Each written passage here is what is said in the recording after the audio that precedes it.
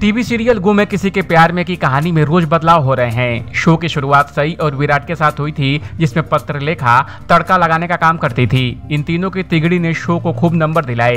ये show TRP में number दो पर था। वहीं अब सीरियल में सभी और रजत की कहानी चल रही है। दोनों की शादी के मेकर्स ने काफ़ी ग्रैंड तरीके से शूट किया है। शो में हुए इतने बदलाव के बीच अब कई नए कलाकार आ गए हैं। आज हम आपको उन स्टार्स के बारे में बताते हैं, जो गुम है किसी के प्यार में के बाद नया शो करते नज़र आ रहे हैं। नील भट्ट।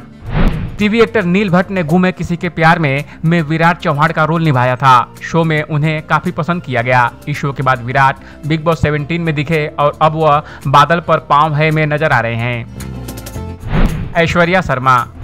ऐश्वर्या शर्मा टीवी की धाकड़ एक्ट्रेस बनकर उभरी हैं। वह गुम है किसी के प्यार में के दिनों में खूब ट्रोल हुई। इसके बाद वह खतरों के खिलाड़ी और बिग बॉस 17 में नज़र आई। इस शो में ऐश्वर्या के अंदाज का हर कोई दीवाना हो गया था। किशोरी शहाणे किशोरी शहाणे ने इस सीरियल में भवानी चौहान का रोल निभाया था और अब वह सीरियल कैसे मुझे तुम मिल गए में नज़र आ रही हैं। इस शो में भी किशोरी का कैरेक्टर निगेटिव हो गया था। आयुष आनंद।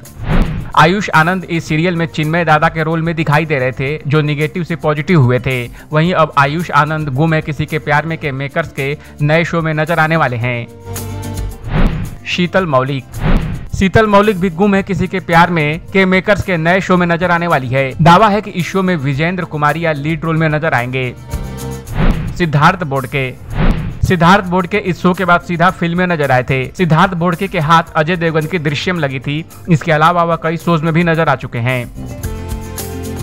भारती पाटिल। इस लिस्ट में भारती पाटिल का भी नाम शामिल है, जो सीरियल में विराट की माँ बनी थी। इस शो के बाद भारती पाटिल दबंग में नज़र आई थी। ये शो चंद महीनों में ही बंद हो गया था। आदिश वैद्य। आदिश वैद्य कुछ महीने ही सीरियल में नज़र आए थे और फिर उन्होंने ये शो छोड़ दिया। आज के समय में आदिश पुष्पा इम्पॉसिबल में नज़र आ रहे हैं। शो के सेट से वह आए दिन वीडियोज़ और तस्वीरें शेयर करते रहते हैं। इस अपडेट पर आपका क्या कहना है? कमेंट कर हमें ज़रूर बताएँ। बॉलीवुड और एंटरटेनमेंट की खबरों के लिए देखते रहिए एबीवी एंटरटेनमेंट